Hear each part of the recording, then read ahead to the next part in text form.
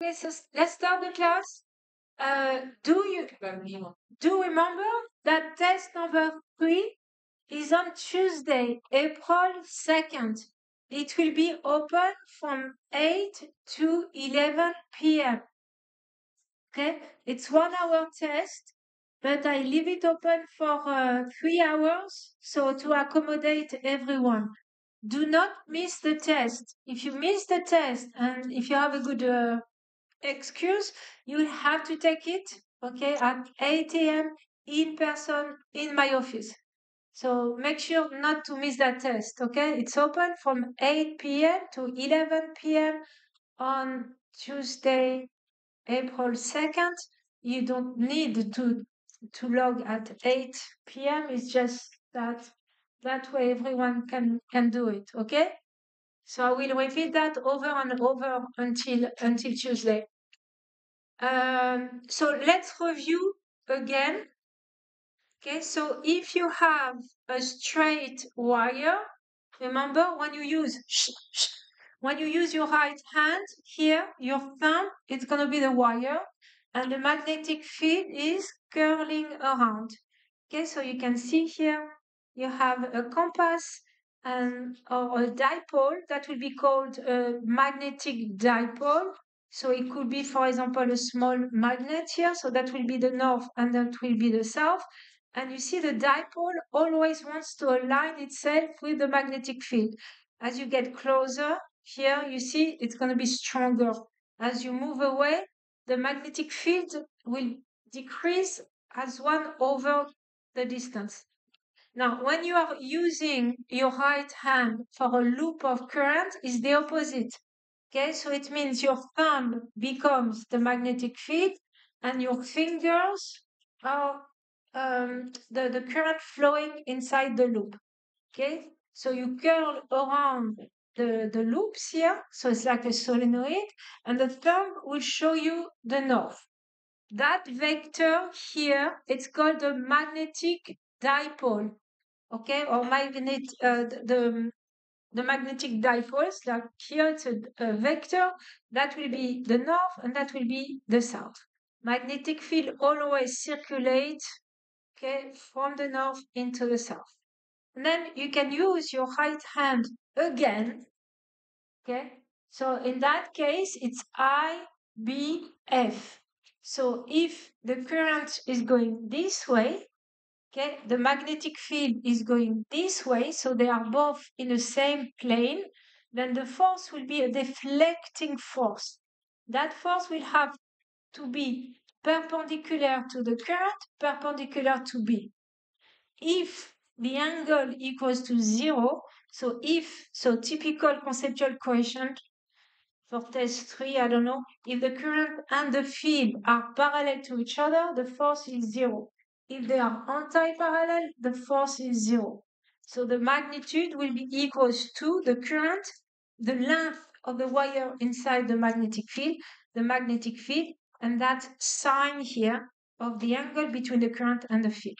So today we're going to see that it will be the same uh, idea if you have a moving charge, okay? Because imagine uh, you have the current here. You see the current here. What what what a current is is a is a flow of positive charges, right? Even though it's not true because it's actually electrons kind of moving in the opposite direction, but everything happens. You have positive charges here.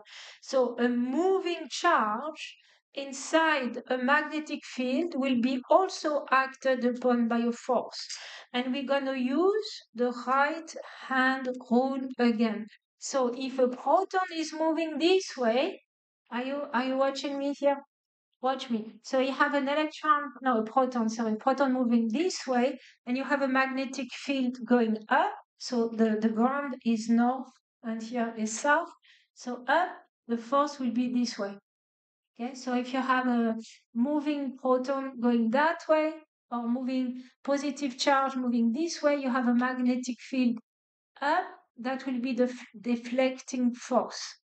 And that will be the principle behind a spectrometer or a mass spectrometer that you're going to use in your research lab um, in biology or chemistry.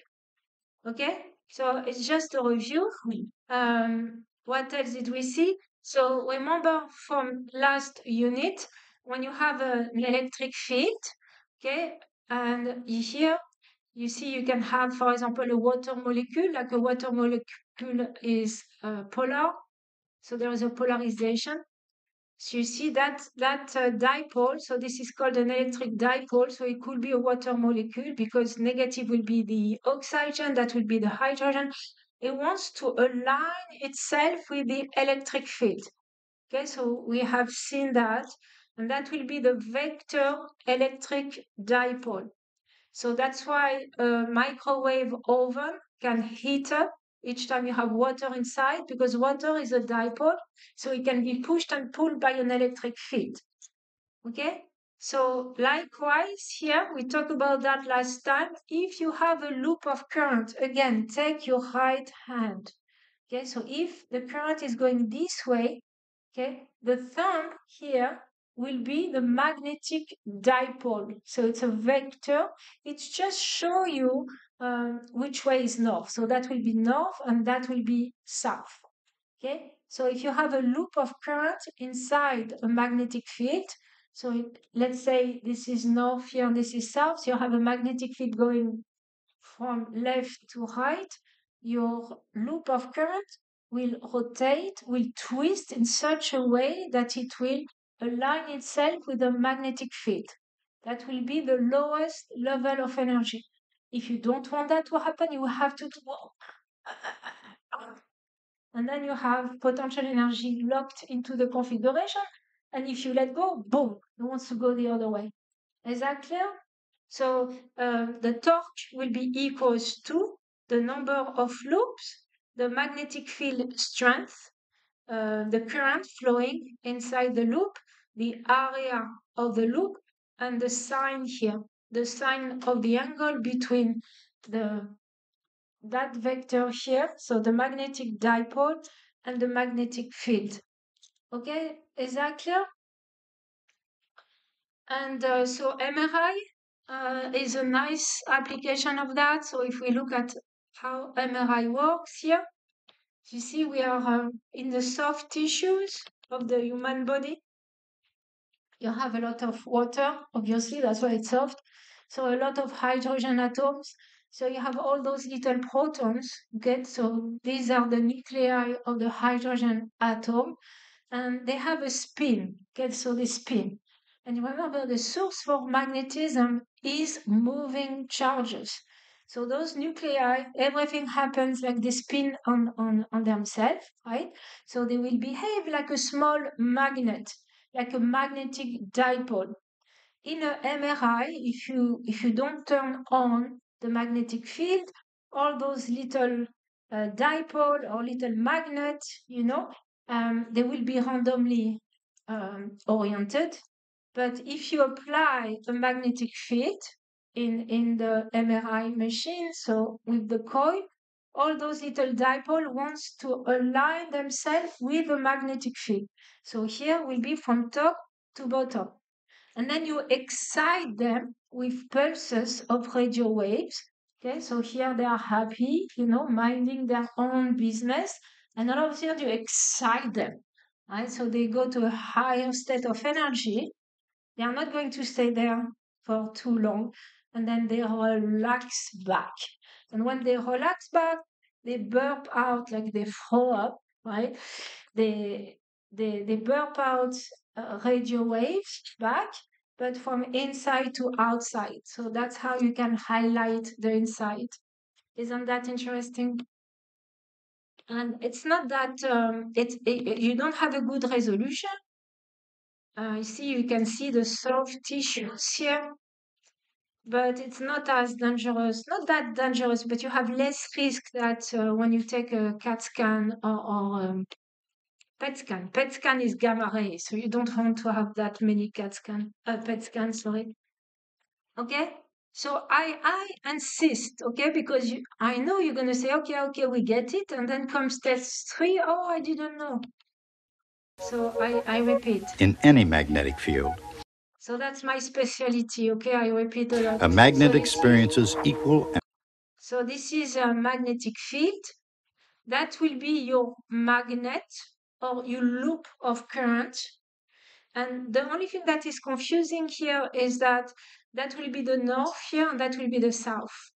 Usually the red is the north, but here that's the, the south, that's the north. And you see what you see here is a vector. It's called the magnetic dipole.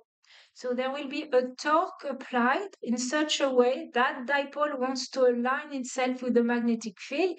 And that's when it's going to be happy because it will be at the lowest energy, potential energy. And opposite forces at its poles, See, you have so that it tends to line up with the field. Now it's lined up. In other words, the field exerts a torque that tends to make the North Pole point in the direction of the field. In fact, that's how the direction of the field is defined.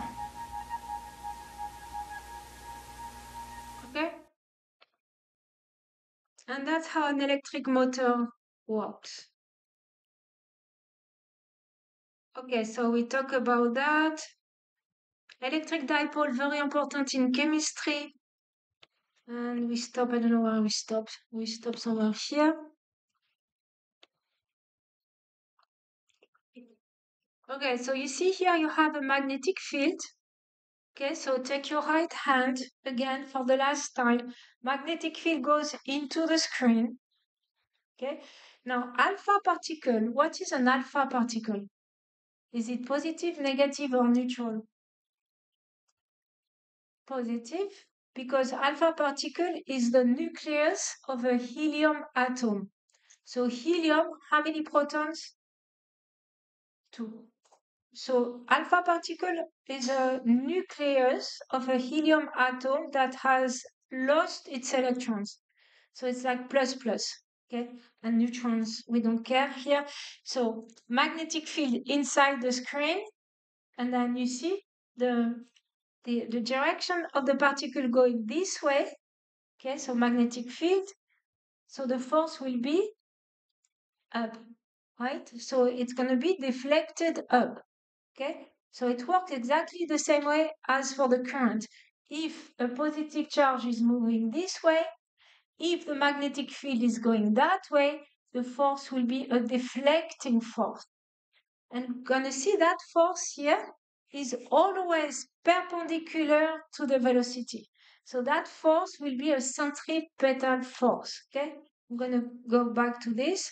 What about a gamma particle? What's a gamma? Uh, it's neutral because it's a photon. Okay, so it's a particle of light, except it has a lot of energy. So gamma will not be deflected, it will keep moving in a straight line. Now beta, what do you think beta is? Negatives, it's actually an electron.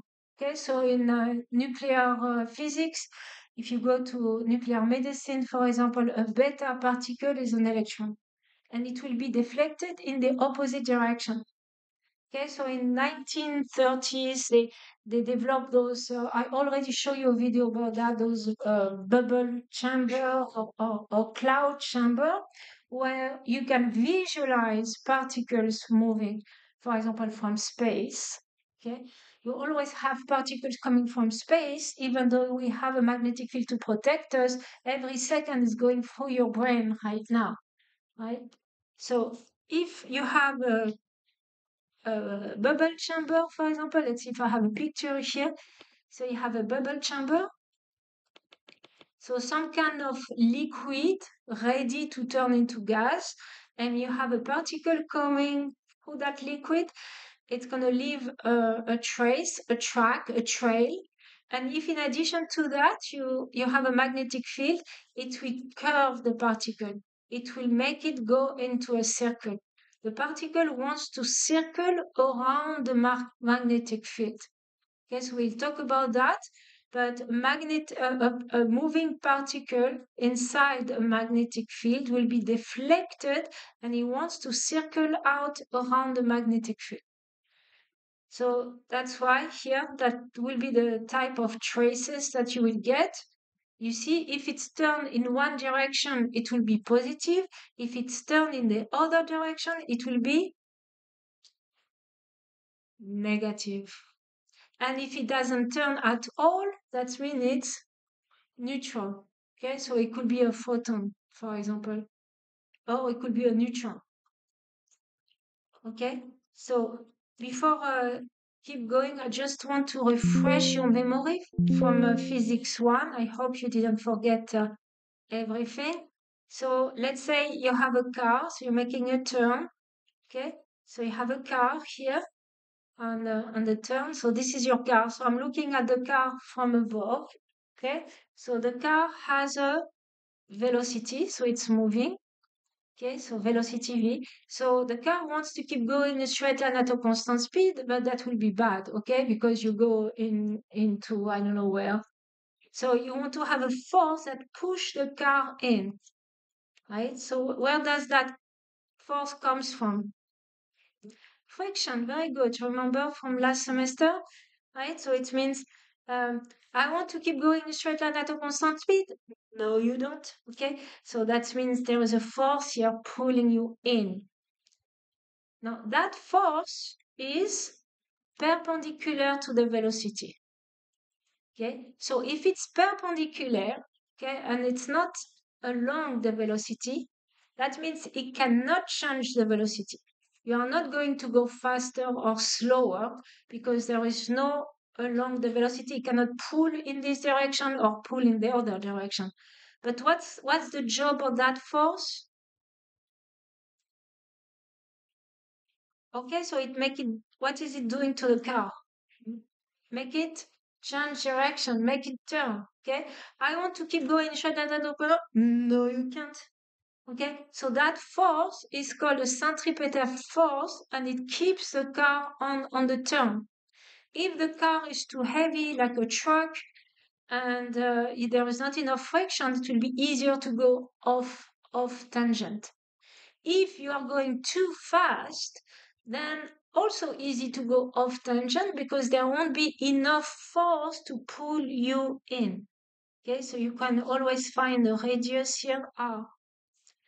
Okay, so in that case, that centripetal force is provided by the friction. Okay, so in that case, that will be the friction providing the centripetal force. And what's the equation for a centripetal force is mv squared over r. So a centripetal force is always provided by something. Here it's provided by the friction. So it will be uh, static friction times the normal.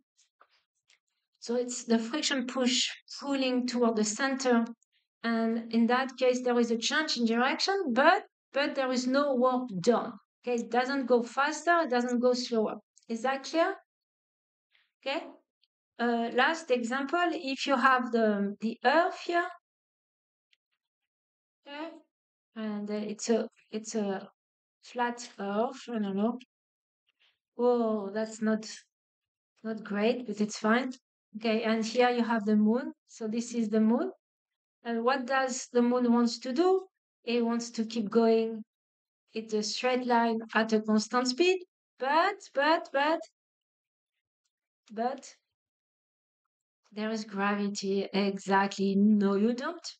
So there is a force here pulling in here. So that's the force due to gravity. And you see the force is perpendicular to the velocity. So each time a force is perpendicular to a velocity, it means it can make the, the, the object change direction, but it cannot make it slow down or speed up. It cannot do work on it. It cannot um, change its kinetic energy. So the speed will stay the same. Is that clear? So likewise, in that case, it's going to be the force of gravity. So the mass of the Earth, the mass of the Moon divided by the distance square will be equals to the mass of the Moon, the speed square divided by r. Okay, so that will be a centripetal force. Is that clear? Okay, so likewise, if you have a particle inside a magnetic field, it will be, it will be if you have a charge moving in this direction and you have a magnetic field moving in this direction, you will have a force. The force will be perpendicular to the velocity, and that force will be a centripetal force.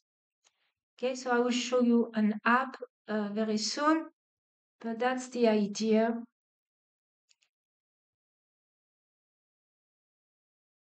So here you have a magnetic field into the screen. Um, so one, and then you have two particles, three particles, one, two, three. Okay, we, we're going to do this way. So you have a particle, like a positive particle co coming this way. What are these dots meaning? Where is the magnetic field? In the screen or um, toward you or in the screen? Very good, right? Because you see the, actually should be like this, right? You see the dot here, that will be the cross. If it's in the screen, you see the cross. So where is the force? So you take your right hand, okay? So you see it's moving this way. The magnetic field is towards you. So the force is down. And it's going to be a force perpendicular to the velocity. So it means once the particle goes inside the magnetic field, it will be deflected. It's going to make a circle, right? It's going to go and circle out the magnetic field. And now I will show you an app but in that case, you see the circle gets smaller and smaller and smaller because it's losing energy because it's bumping into the liquid here. So the velocity is going to decrease. So that's why it doesn't make that big circle at the end. But my question is, particle 2, is it a positive or, or, or negative particle? Look, look at this one. So to make a circle like this, at that point, the force has to be up or down. You see here, the particle enter is going to go this way.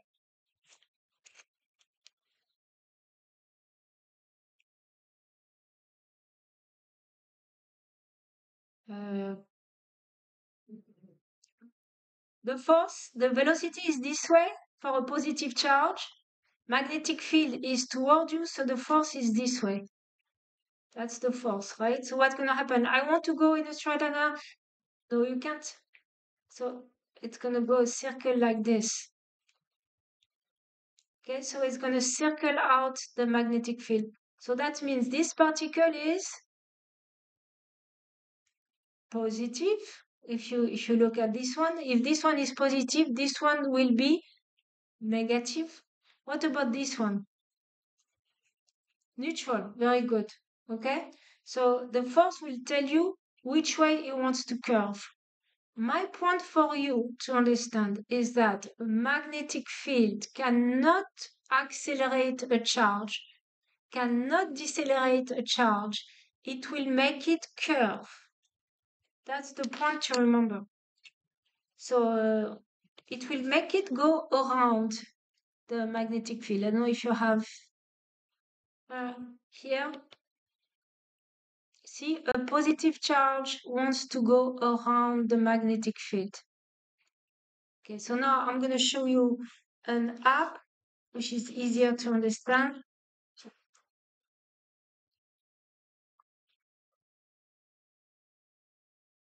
Uh, if the app wants to work,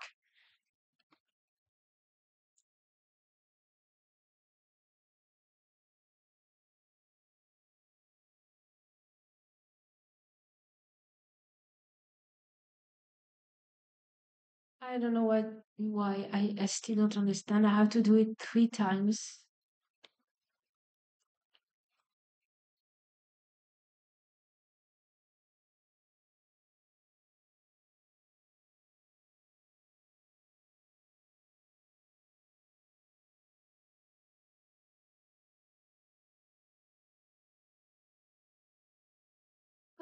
Ah, she, I, I have no idea why it does that. Okay.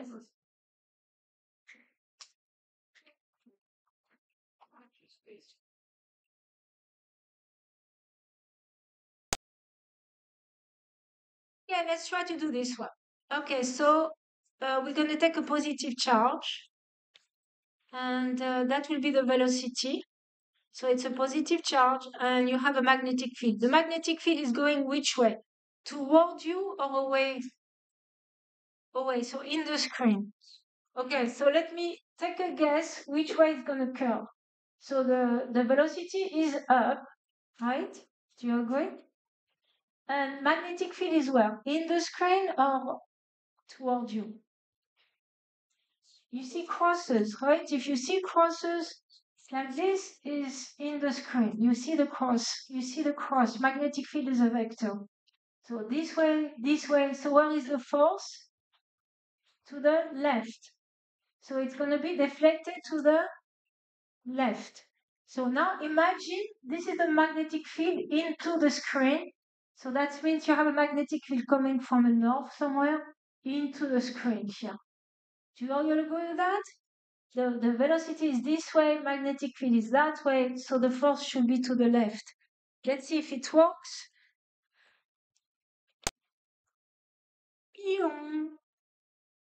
Do you see that? So um, when it's there, it's going to accelerate, okay? Because uh, it's uh, it's acted upon by an electric field here somewhere. So it's going to accelerate here, and then it's going to be deflected. Now, what do you think is going to happen if I increase the velocity? So it has more momentum, right? It will go further, but will still uh, turn left. Does it make sense? Why does it go further? But it's because if you have a Ferrari, you know, at 100 miles per hour, it's going to be harder for it to make a turn. Uh, compared to a slow bike, for example. So let's see if it is true. If I increase the speed now, let's see. I increase the radius of my circle. So here it's a semi-circle because after it leaves the magnetic field. But if I stay inside, it will keep going around and around and around and around. Is that clear? Are you with me? What if we change the what if we still change? So it's positive, that's the speed. And uh, what else? Oh, I can change the magnetic field. For if I make it very strong, what's going to happen? It's going to pull even more. So the force will increase. So the radius will be smaller. Let's see. Doom.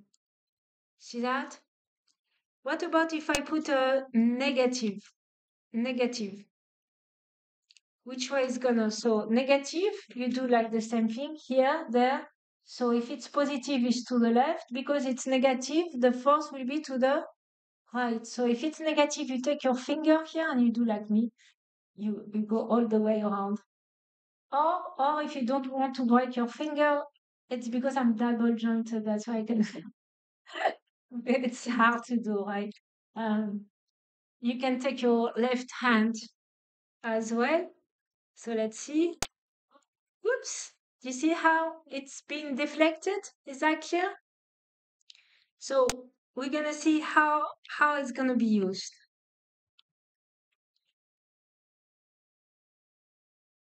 So why, why is uh, such a big deal?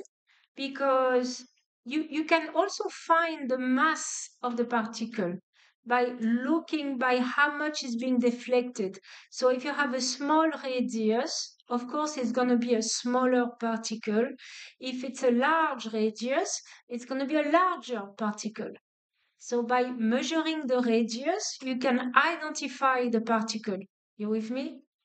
Okay, so if you have a heavy truck, it's going to be harder to make the turn. So they were able to see that an electron was going this way, and all of a sudden they see exactly the same thing, so the same mass, so a particle with the same mass of an electron, but it was deflected in the opposite direction. So what do you think it means? Same magnetic field, same velocity, same mass. So a particle with same mass as the electron, but it was deflected in the opposite direction. So what they did uh, discover, that was in 1932. So an electron, is it uh, negative or positive? Negative. And now you have a particle exactly like the electron, the same mass, but it's deflected in the opposite direction. So that particle will be positive. It's an anti-electron. Like you have antimatter, it's not science fiction. You do have antimatter, and an anti-electron is called a positron. And well, when do we use positron? When you are going to do a PET scan. PET scan, you're going to produce positron inside your body. The, the positron inside your body will combine with electron inside your body because electrons are everywhere. They're going to annihilate each other. They're going to destroy each other because matter and antimatter destroy each other. And you have a burst of energy inside out that will be gamma rays coming from inside out and you will be highlighted by gamma rays. So that will be a very good resolution, but not a good idea to do too many of them. PET scan. So that will be a PET scan. So which which way do you think it's going to be deflected? Coming to the right, magnetic field is in or, or towards you? Into, so it will be deflected up. Right? So it's going to make like a circle half half of a circle. Okay?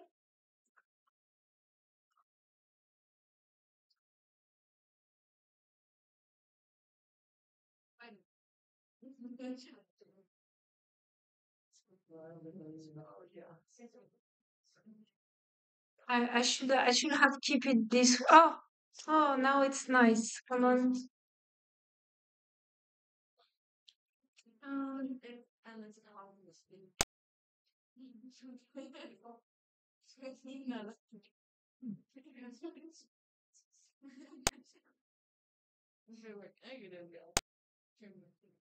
You see, if you have a positive a positive charge inside a magnetic field, but it was already moving to the right, so it will keep that inertia, it will keep that momentum, but because there is a magnetic field, it will circle around the magnetic field. So when it gets to magnetic field, it's all about curling around. Okay?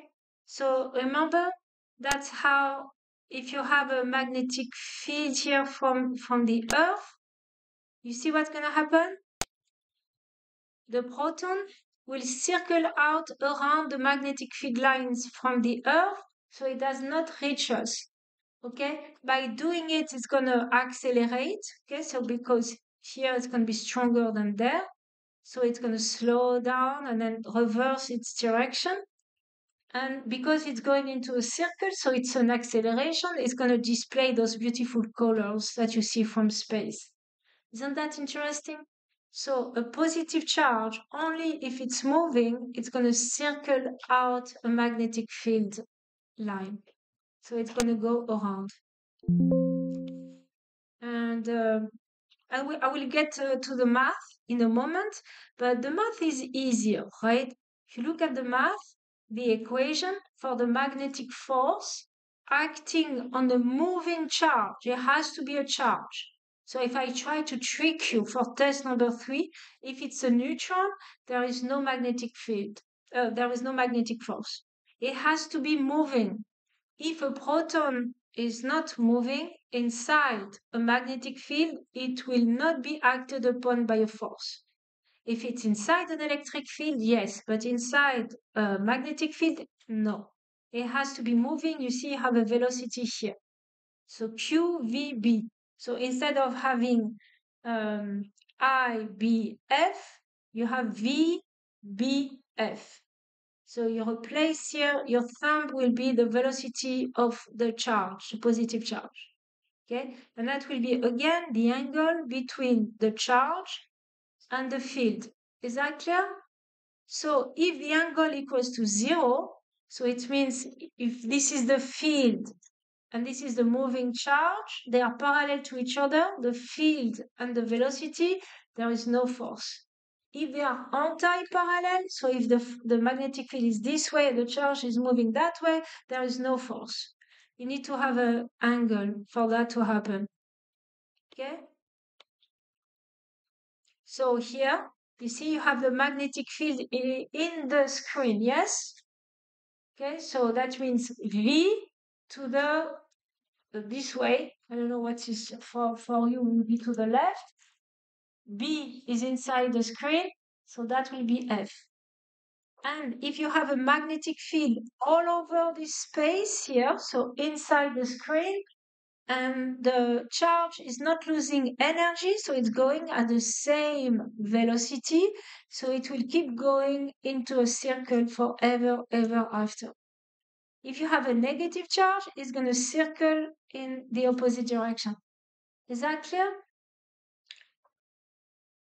Okay, so that's why I've made a summary to um, summarize, of course. So again, north and south. So you have a magnetic field from north to south.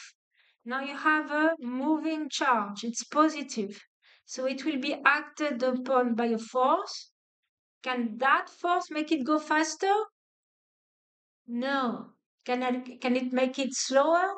No, never. A magnetic field, uh, a magnetic force will deflect. It will curve because the force is perpendicular to the velocity. So it's like a centripetal force. Is that clear? But if you have an electric field, like here you have a capacitor, so electric field goes from plus to minus. So you want to keep going straight line at a constant speed. No, you can't because you have a force here. So you're going to have like a projectile motion. So a charge in an electric field, can it accelerate? Yes, F equals QE. An electric field will accelerate a charge. A magnetic field will deflect the charge. Is that clear? Okay, so that's what you see here. Okay, so before getting to the math, I have one more app to show you. Um, I don't know how to do, okay, here. If it wants to open.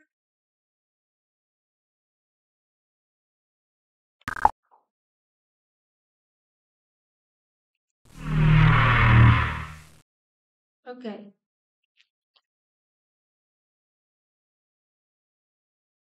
So first, I'm going to take no electric field.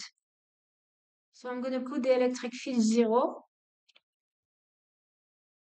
Okay, so it has a velocity along the x-axis. So of course, because of inertia, it wants to keep going in straight line at a constant speed. What you see here is what is um, the electric down here is the, uh, no, I'm not going to make it. What is that? It's the electric field.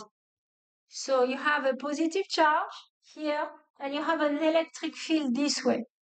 So remember the electric force is proportional, it's just um, uh, proportional to the electric field. So where, which way is the force? It's inside an electric field. F equals QE. So the force is down. Okay, remember, don't forget, don't erase your memory. Okay, that was just like a few weeks ago. So an electric field will accelerate a charge. So think about it, right? Typical conceptual question. What's going to happen? It wants to keep going straight and at a constant speed.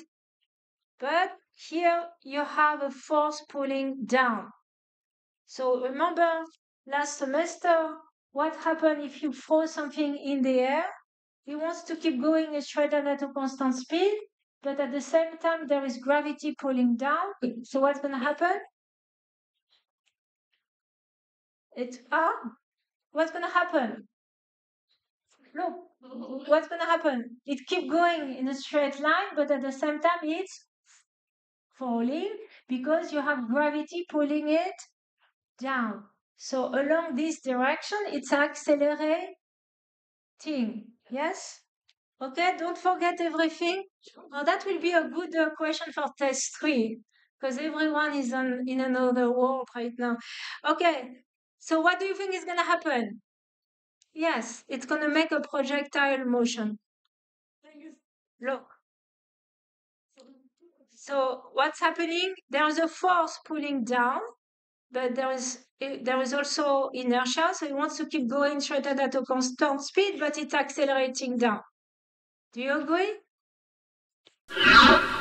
I, I can do it also if it's uh don't don't don't erase your memory please please please please don't forget I'm going to take a magnetic field equals to zero okay the electric field okay I'm going to take to minus so it's going to be down and now I'm taking no velocity so there is no velocity to start with so what's going to happen in that case? Which way is going to go? So forget about this. There is no velocity and the electric field is down. So what's going to happen to the charge? It's going to go down and it's going to what? Go moving at a constant speed or it's going to accelerate? It's going to accelerate. Okay, great. Test three, perfect. Perfect question. You won't be able to find it on chat uh, GPT. Okay, so I'm sure of that. So this is perfect. Okay, so what else? So that's for the electric field. An electric field accelerates, even though it will keep the initial momentum, but at the same time, it has to accelerate. What now if I have a, an electric field? Um, I remove the electric field, so I'm going to put that to zero. And uh, now this is zero. And now the magnetic field is negative 0.5. Okay. So now um, predict what's going to happen. So the that's force. Okay, magnetic field is going towards you uh, in the screen. In the screen. So the force is up, up. And because it's a magnetic field, will the charge accelerate? No, it will. It's going to go around Okay, it will, it will circle out the magnetic field line going into the screen. Ready? Look at that. Isn't that cute? Oh, there is no loss in energy. Okay? And uh, because there is no loss in energy, it's going to go at the same speed. And uh, it's, it's making a circle. So we can find the period. How long does it take to complete the circle? we can find the frequency, how many circles it's completing per second. Okay. If you increase, if you increase the speed, what's going to happen? The circle will increase. Very good. Okay. It's like a Ferrari uh, going really fast. Make, when it's going to turn, it's going to make large circle if you increase the mass, also it's going to be large circle because it has so much inertia, it's hard to turn. Is, isn't that great? Huh? So that's what's happening. So imagine the when that happens, it means that the charge wants to go around the magnetic field line. Okay? Now, if you have both, it's going to be something weird right? It's not going to be a circle because it's it's accelerating up, but at the same time it's going around the magnetic field, so it's doing two things at the same time. Now there is something very special where you can have an electric field and a magnetic field and in such a way that they're going to cancel each other. The force up will be cancelled by the force down. So in that case, what's going to happen to the particle? If you have up equals down, if you have an electric field up, for example, and a magnetic field force down, what's going to happen to the particle? It goes straight, very good. So if you are um, working in a lab, you, you have something called a mass spectrometer, and you have to use what is called a velocity selector. Okay, so we're going to see how it's used, but in that case, I want to show you, I tried. Um, so if the electric field is negative 5, so let's make it negative 5, okay, and the magnetic field is minus.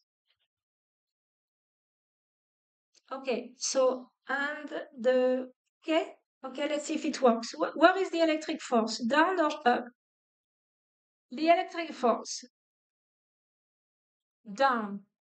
Where is the magnetic force? So the, the velocity is this way, magnetic field is in the screen. Where is the force? Up. And they are in such a way, the, the magnetic field, the electric field have such um, numbers, then up will be equals to down. So let's see if it works. You see, it's moving in a straight line.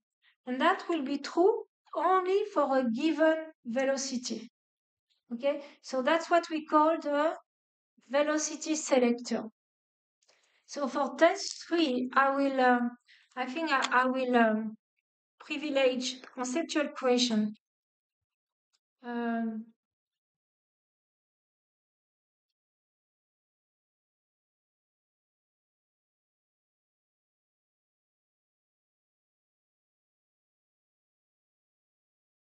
so in that case, I don't know how to do that.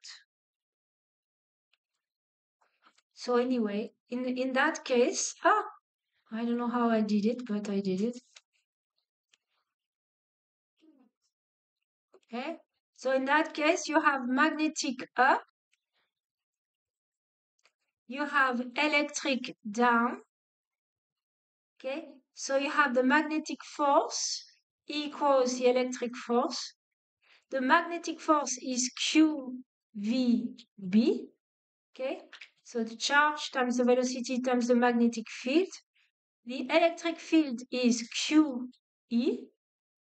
You can cross out the charge and that way you have the velocity is the ratio between E and B. So that means if you have, if you want to select a velocity, you want to, to, to use that ratio between electric field and magnetic field. It's called the velocity selector. Okay, so we'll, uh, we'll go back to that. Is that clear? If you want after the class, you can come to see me and I will run that again. So here, again, the magnetic field is where? Toward you or in the screen? In the screen. So for example, if you look at number one, velocity is going this way, magnetic field is in the screen, so the force here is in this direction. Do you agree? So this is called a centripetal force. It's perpendicular to velocity, to the velocity. It cannot speed up the charge. It make it go around in a circle and it will circle around the magnetic field lines. Is that clear? So a little bit of algebra so centripetal force equals mv squared over r. That will be the magnetic force, QVB. We already seen that on Tuesday. And you can isolate the radius r. r equals mv over qb. Does it make sense? Yes, it does. Because you see, larger is the particle or the isotope. It doesn't have to be a proton. It could be a positively charged uh, ion. For example, larger is your isotope, larger will be the radius because it has more inertia, so it's harder to make it turn. Larger is the velocity, harder is to make it turn, okay, because it will go very fast. Like if you go really fast on the highway, if you try to make a turn, off tangent you go. Larger is the magnetic field, um, then you increase the motivation to be deflected. If you have a large magnetic field, you're going to turn more, right? The radius will be smaller. Does it make sense? And same thing, if you increase the charge, the radius will be smaller. So it's inversely proportional to B and proportional to the mass and to the velocity. Yes. No? Someone is stretching? Okay. Um, okay, more math here. So that will be the radius here. Um, you can find the period. So the period will be the time it takes to go around. And when you do the period, so the math is not very hard. The period is a time, so it will be the speed, um, the distance divided by the speed. So distance is 2 pi r, so that will be the speed. You get that equation here. And you see that the period, the time it takes to go around, what is it that is missing here? So if I ask you conceptual question, the, the period, the time it takes to complete a circle for a positive charge inside the magnetic field, it does depend on the mass, check. It does depend on B, check. It does depend on Q, check. Oh! What is it? It does not depend on the velocity. No matter what the velocity is, the time to go around will be the same, which is not very intuitive. Okay, so let's try to do this one.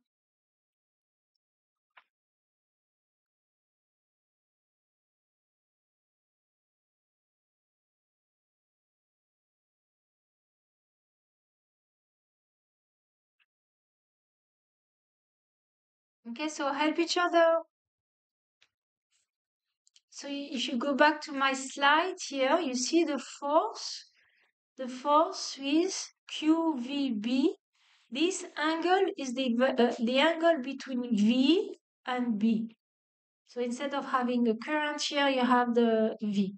So QVB, and then you have a sine, but usually it's going to be perpendicular, so you don't have to worry about the sine. So once you understand the concept, it's um, everything else is just math.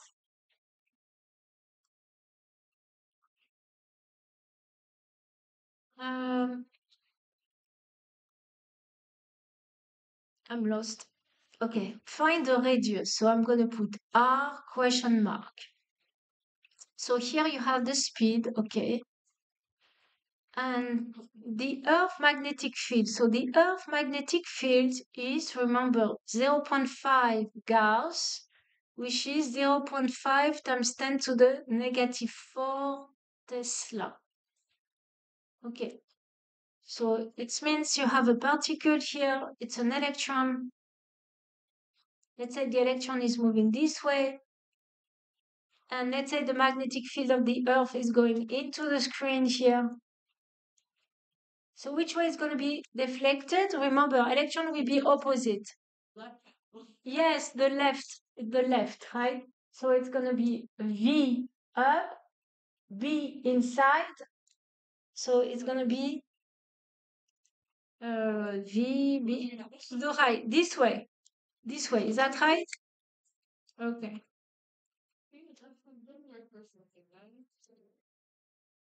Right, so you use your right hand. Right hand's good, good for lefty. And so it's gonna circle around like this.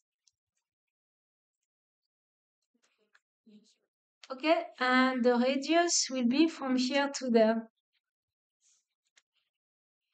Okay, so you go back to the slide and you see that the radius equals mv over qb.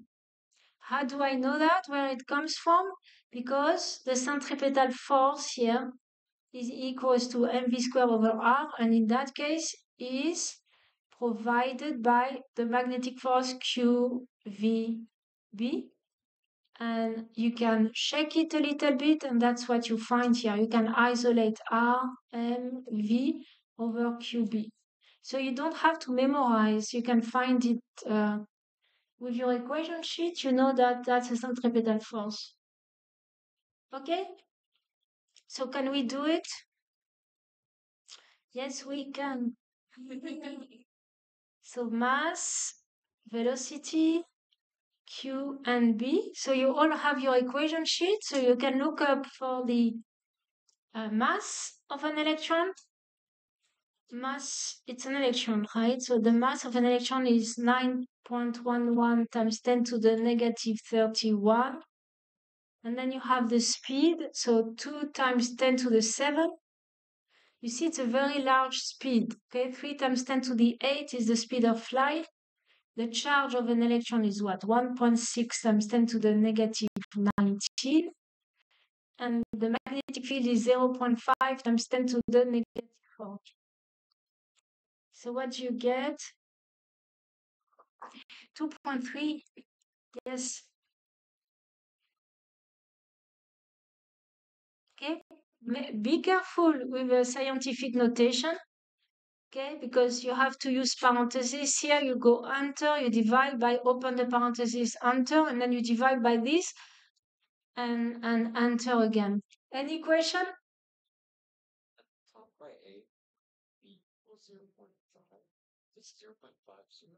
Uh, no, no, no, no, no. Did I put a 0.50? No, oh, this is Gauss. It's a G. Because that's the magnetic field of the Earth, and one Gauss is a subunit. It's a small unit, it's 10 to the negative 4 uh, Tesla. Magnetic field of a magnet that you play with is about 0.1 Tesla, so it's always taking over the magnetic field of the Earth. Okay? So now, what do you think is going to happen if you increase the magnetic field by a lot? So you use an electromagnet. Do you expect the radius to decrease or increase? Decrease. Do you see, it's inversely proportional to B. It's very important to be able to do those kind of uh, questions here, okay? For MCAT, you see, inversely, inversely. So B goes up, R goes down, goes down, when this one goes up. Okay, so let's do the same thing. R equals 9.11 times 10 to the negative 31st. And then you have the speed, 2 times 10 to the 7. And then you have 1.6 times 10 to the negative 19. And now you have 10. So the radius equals to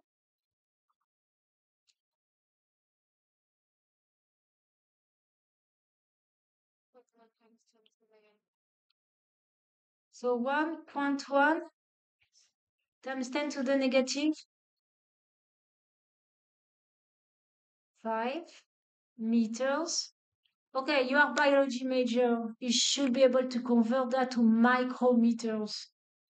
So you divide by 10 to the negative 6. Okay, so you want to convert to micrometer. Micro means 10 to the negative 6. So you divide this by e to the minus 6 to convert to micro, and you get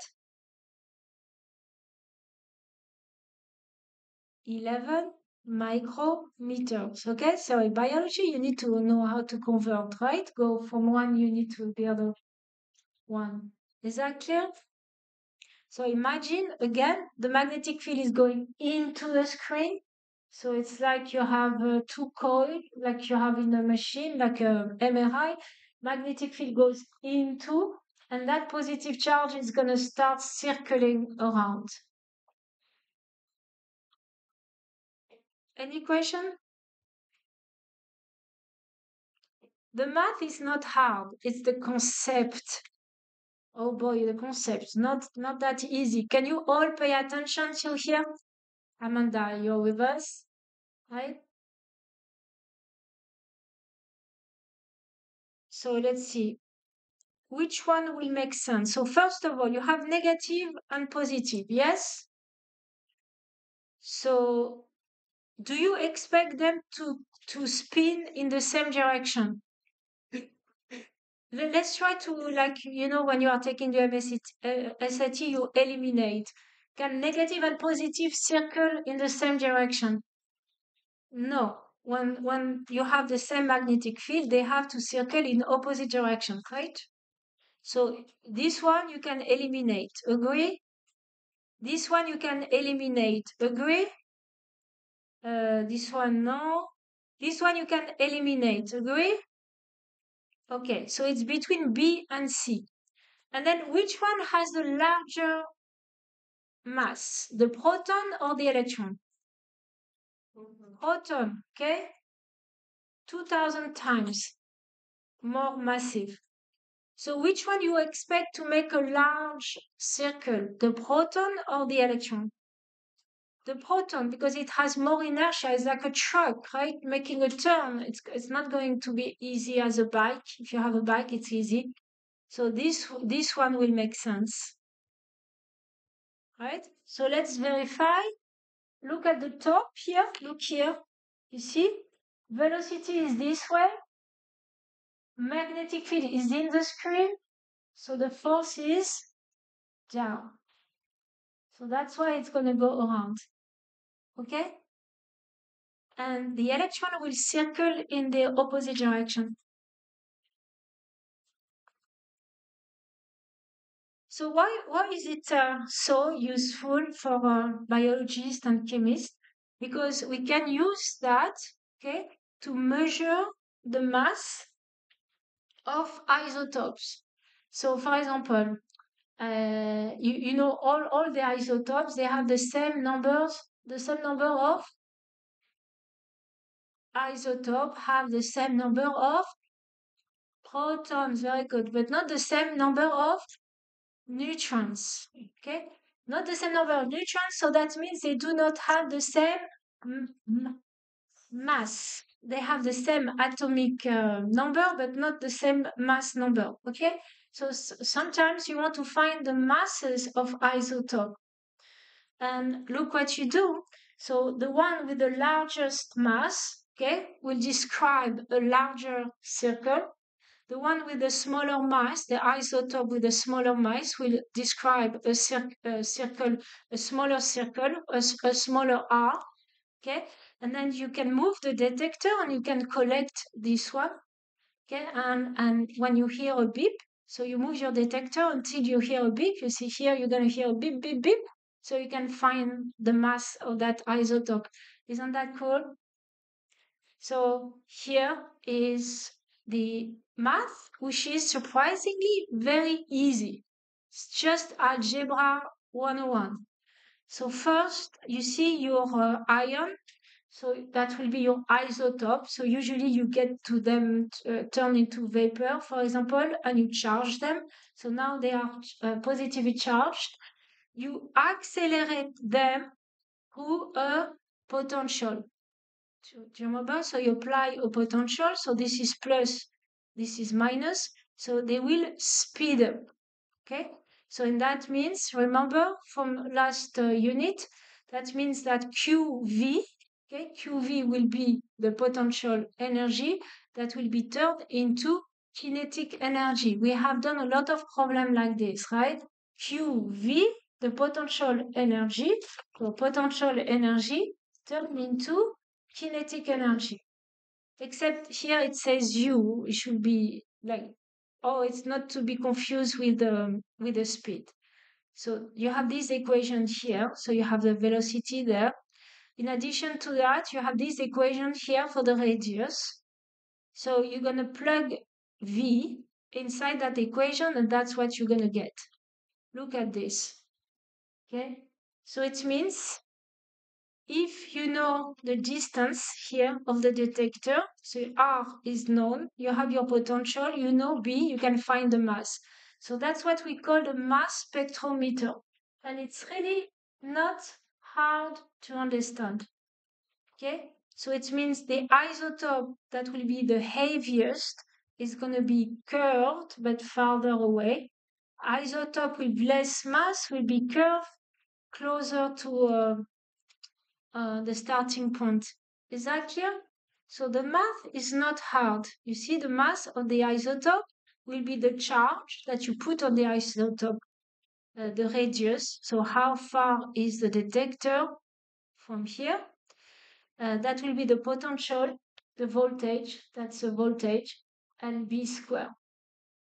So what you do, what you do, you will change B you will change the magnitude of B because it's an electromagnet until you hear a beep in your detector and then you can find the mass. Isn't that uh, interesting? So you change B until you hear a beep in your detector, so then you can find the mass. So this is called a mass spectrometer. Okay, you can use the same technique to count the number of isotopes.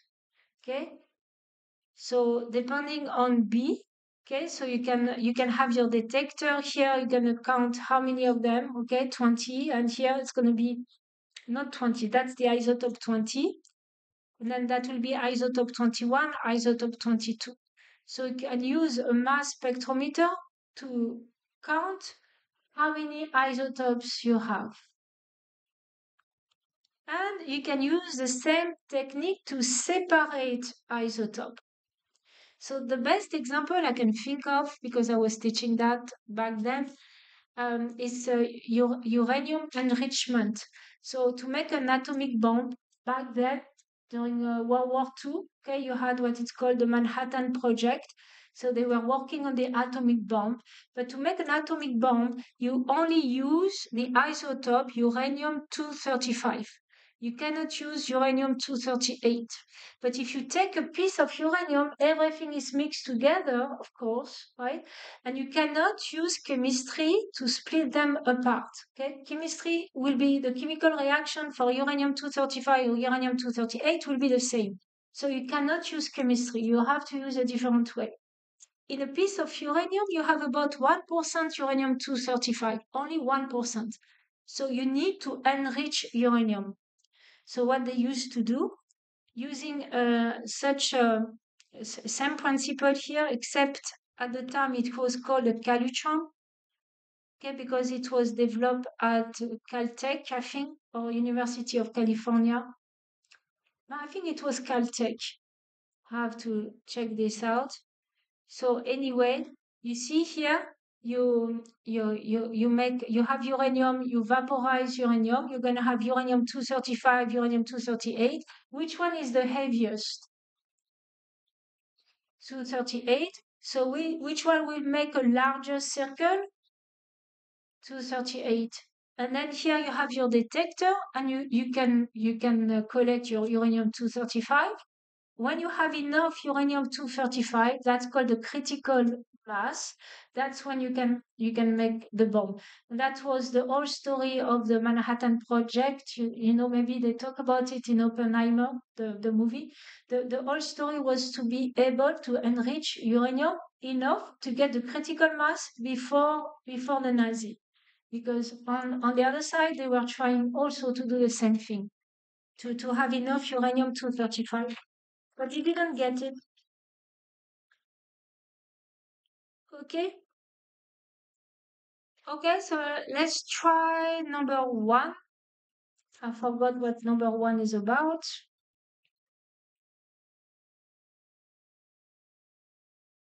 Okay, let's try number one. So in that case, we're going to use that principle to find the mass. Remember, I told you you can find masses of isotopes. Okay, so you change the magnetic field until you hear a beep in your detector. Okay, so when that happens, you have a magnetic field of 8 Tesla, so you hear beep, beep, beep, beep. So you know that you have a particle and then you can find the mass because you have the radius. Okay, so you have the radius here. You have your detector, you have your magnetic field, and you want to find the mass.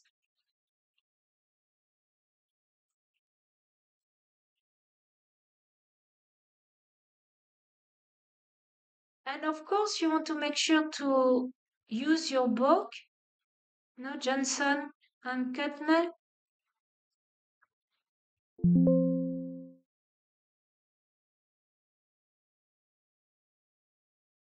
Okay, so the mass is question mark a single elementary charge. What is a, you are in chemistry, right? What is a single elementary charge?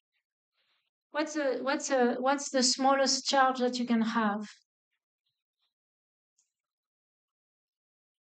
It's it's a proton or an electron, right? They have the same charge. You you cannot cut that in two or three. So that element, what we say when we say single elementary charge, that means it's the charge of a proton or an electron. So it's E. Okay, so the charge is 1.6 times 10 to the negative 19 coulomb. And here you have the radius.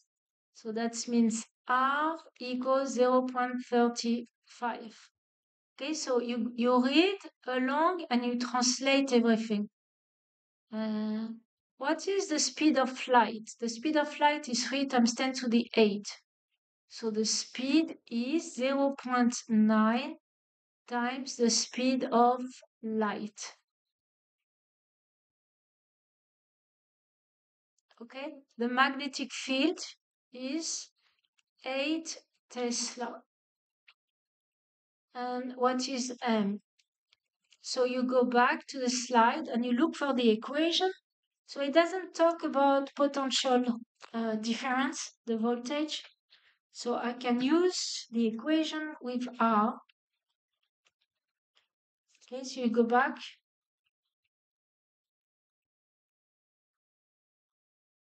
Here, for example, and you don't don't have to memorize it. You see, R is proportional to M, proportional to the speed, inversely proportional to Q, inversely proportional to B. There is two quantity on the top, two quantity at the bottom. Okay, so R equals mv over qb.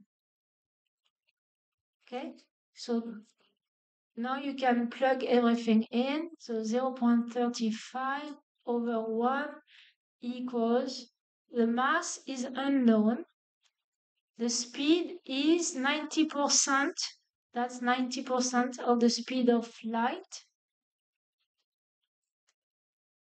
over the charge 1.6 times 10 to the negative 19 and times the magnetic field is uh, 8.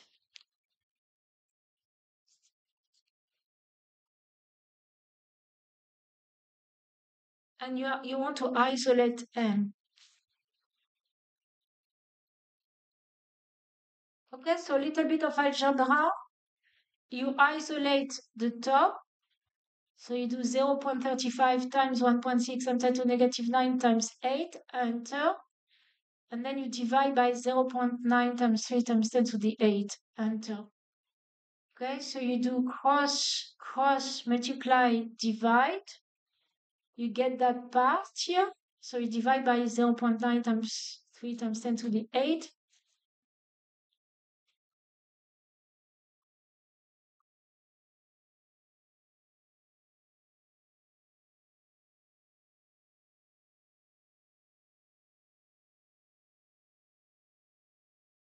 Are you leaving already?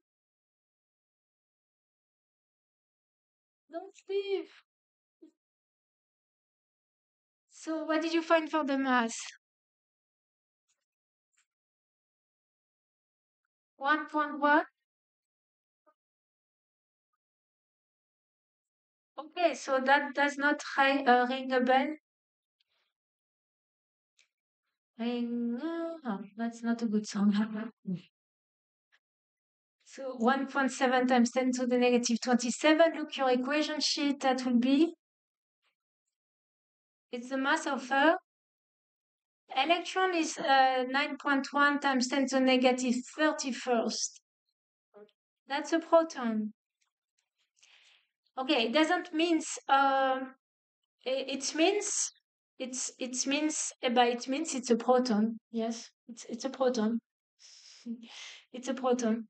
It doesn't have to be a proton, but it's a proton. Is that clear?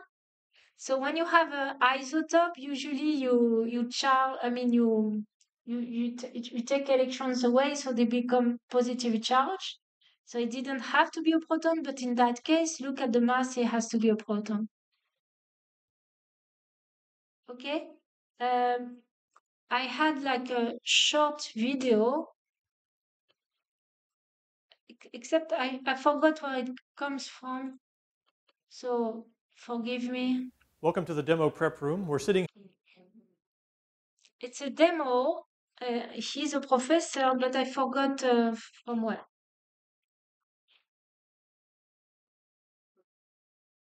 So you're gonna have a beam of electron, like a vac in inside a vacuum tube.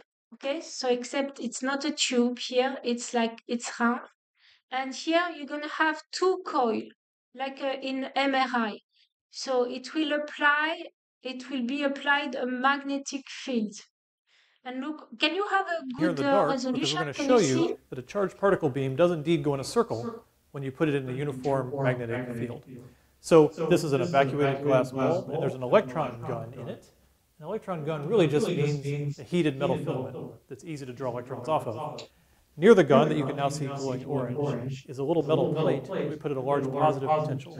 So that sucks the electrons up to a few hundred volts at the plate. The plate has a hole so that some of the electrons keep going and form a beam. So you see, this is the beam of electron, this is the cathode, and this is the anode. So you apply a voltage between the cathode and the anode.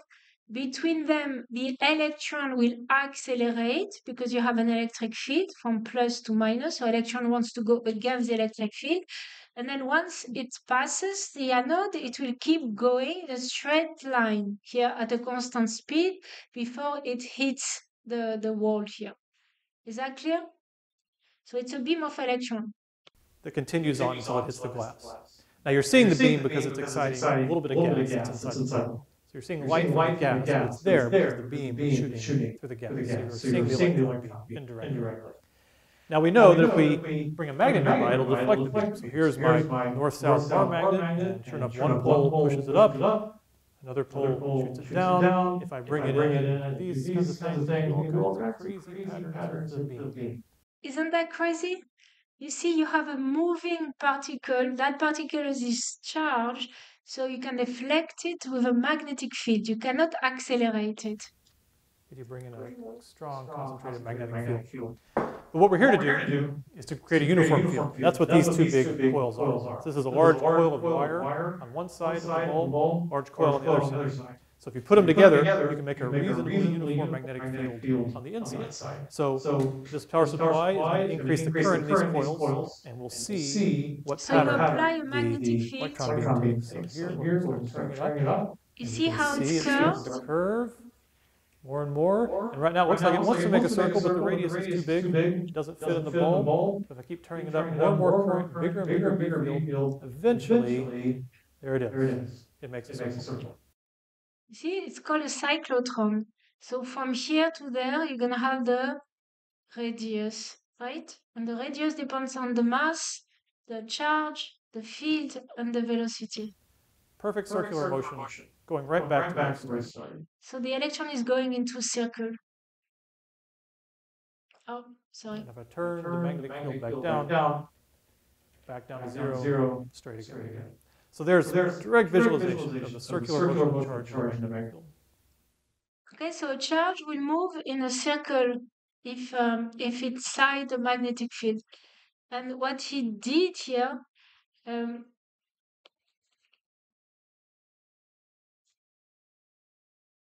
here, do you remember when we used a, um, capacitor between the two plates? So this is not a capacitor, but when we we had a capacitor here, Okay, if you have two plates here, between the plates, you're going to have a uniform electric field. You remember that?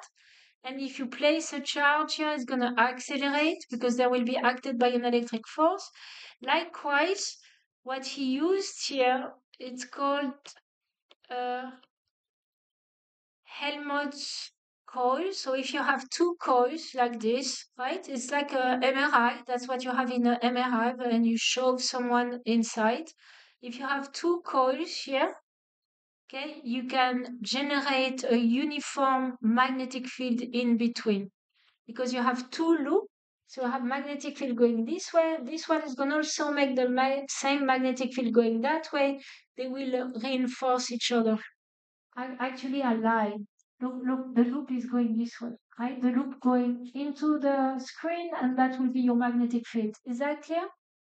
So if you have such configuration, and of course the loop have to be exactly the same, and they have the same number of turns, and the distance between them has to be equal to the radius, then we have a beautiful way to provide a uniform magnetic field. Okay, so that's just a parenthesis. Don't have to worry about it too much. So let's go back. But that's how MRI works with the magnet. Okay, so talk to each other, help each other. What do you think? Uh, are these positive charge or negative charge? So start with positive. If it was positive, which way it should be deflected to? Huh? So the force is this way, magnetic field is that way. Up. Is it going up? No. So it has to be a negative charge. Okay, so if I go back a little bit here, you see, when you have a charged particle entering a magnetic field, it will be deflected in one direction if the charge is negative, the other direction if the charge is positive. So here you have two particles. If the charge is positive, it will circle in this direction. So you have a circular motion. If it's negative, you have a motion in the in the other direction. Is that clear? And that will be the equation for the radius. Okay, so let's go back to here. Okay, let's do this one.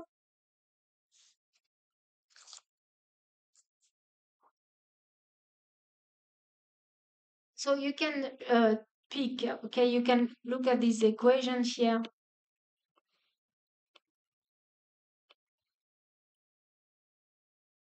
For the mass spectrometer, you can use, I guess you can use this equation here. The mass, that will be the charge, the radius square, that will be your voltage that you apply to accelerate, okay, to get to the speed that you want, kinetic speed, kinetic energy equals the potential energy. So write that down, you can use that equation here.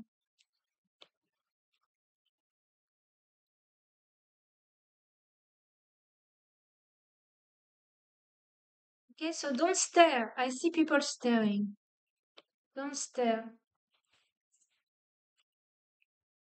So you have the equation m the mass equals q r square. That will be your voltage, the voltage that you apply, b square. It's a voltage. So this is a voltage. The voltage is in volt. This is in the, this is a 2, thank you. It's a, it's a 2.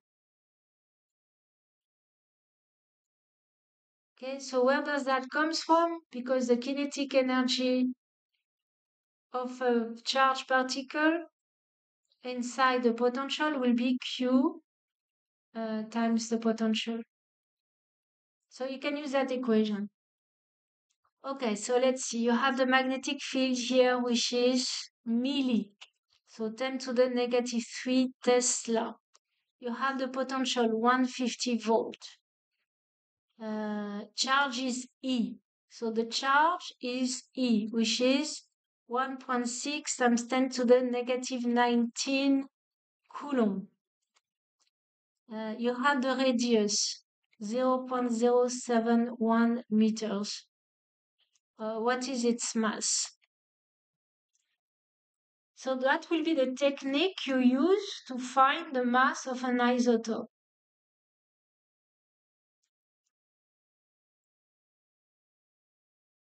Okay, are you all doing it? The mass will be equals to 1.6 times 10 to the negative 19. And then here the radius square, so 0.071 square over here you have a 2 and then you have a 150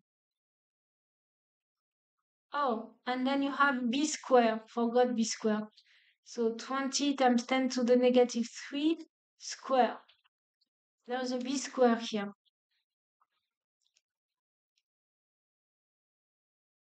So what do you get?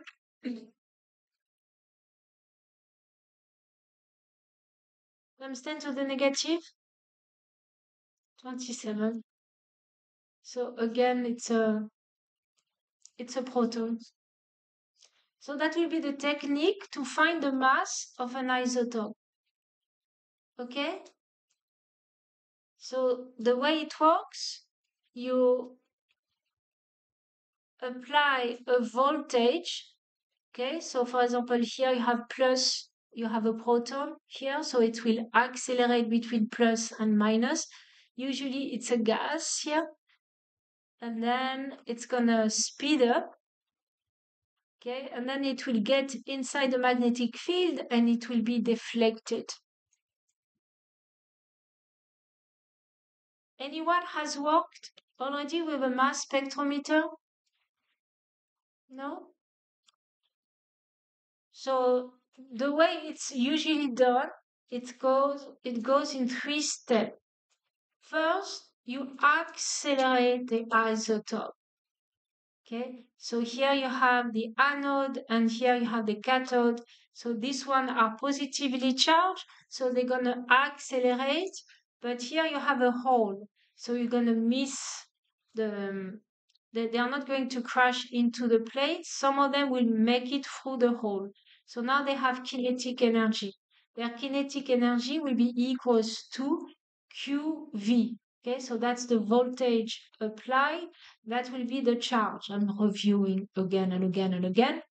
And then they go through a velocity selector. So you're going to have an electric force pulling up, magnetic force pulling down, Okay, so you select the velocity that you want, and then they go inside that magnetic field and they will be deflected. So you can separate them or you can find their mass. Is that clear? So here you have a YouTube video. I think I will use that. I don't know if I use that for test number three or if I use it for a pop quiz, but it goes uh, through all the steps in that video. I think for next pop quiz, I will use that. So you see here, you have a beam of electron. You accelerate them. It's going to go through the hole. Okay. And it's going to go in a straight line because it will be acted upon by two forces. So let me ask you last time. You have the electron here, it's going to speed up. Do you do that? Because you apply a voltage. An electron wants to go from the minus to the plus, it's going to speed up. Then it goes here. Here you have a capacitor. You see the capacitor? The electric field goes from plus to minus, right? So where is the electric force on the electron? The electron wants to go to the so positive, so the electric force will be down. Do you all agree with that? The electrons wants to get down, so the electric force will be down. What about the magnetic force? So if it was a positive charge, you have this way, and then um, a magnet this way. So if it was positive, what is the magnetic force? So the magnetic field goes this way, so towards right? So moving this way, magnetic is that way, so the force will be down. But because it's negative, so the force is up. So up equals down. That's why it's called the velocity selector. It's a great, great question for conceptual questions, so don't uh, space out. Any question? Okay, so, okay. And then uh, what's going to happen? So a positive charge want to circle out around a magnetic field. I have something to show you, but um, running out of time. So, but at the same time, it's moving forward. So you you see, it's doing two things at the same time. It's moving around the magnetic field and it's moving forward. So it has this very interesting motion. So we'll see that next time, but the thing I forgot to show you is, is this. Oh, I think it's going to be for the pop quiz. You see, when you have a loop of current inside the magnetic field, it will be applied by a torque. Such as your magnetic dipole, okay, will want to align with the magnetic field. And if you lose contact, it will keep spinning. So that's how a motor works. So make sure the, the concept